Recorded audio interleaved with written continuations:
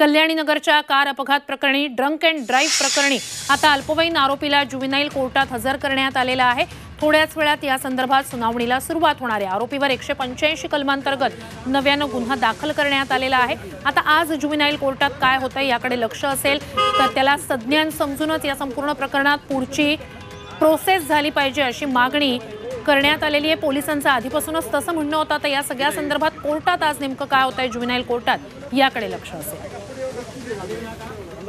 अधिकची माहिती या सगळ्या संदर्भात आपले प्रतिनिधी कोर्टाच्या परिसरात उपस्थित असलेले आपले प्रतिनिधी निलेश खरमरे यांच्याकडून घेऊया. निलेश आज नेमकं आत्ता कोर्टात काय होऊ शकतं?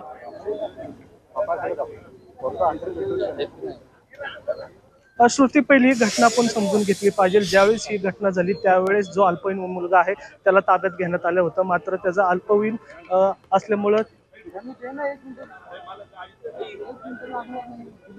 अमृत नोनी गॅस्ट्रिन अपचन ऍसिडिटी गॅस्ट्रबल ह्यापैकी तुम्हाला कुठलाही गॅस्ट्रिक प्रॉब्लेम झाला उपाय एकच अमृत नोनी गॅस्ट्रिन.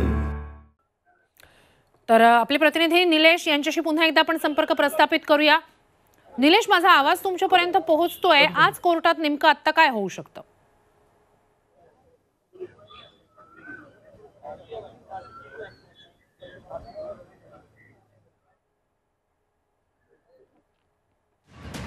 पुण्यातल्या या ड्रंक अँड ड्राईव्ह प्रकरणी पुणेकरांनी तीव्र असा संताप व्यक्त केला. राज्याच्या सगळ्याच भागातनं या संदर्भात तीव्र असा संताप व्यक्त झाल्यानंतर आता या संदर्भात काल तातडीनं गृहमंत्र्यांनी पोलीस आयुक्तालय गाठलेलं होतं. बैठक अधिकाऱ्यांची घेतलेली होती. तेव्हाच बोलताना त्या व्यक्तीला म्हणजेच त्या आरोपीला संज्ञान समजून पुढची प्रोसेस करण्यासंदर्भातलं ठाम मत असल्याचं सुद्धा फडणवीसांनी सांगितलं होतं.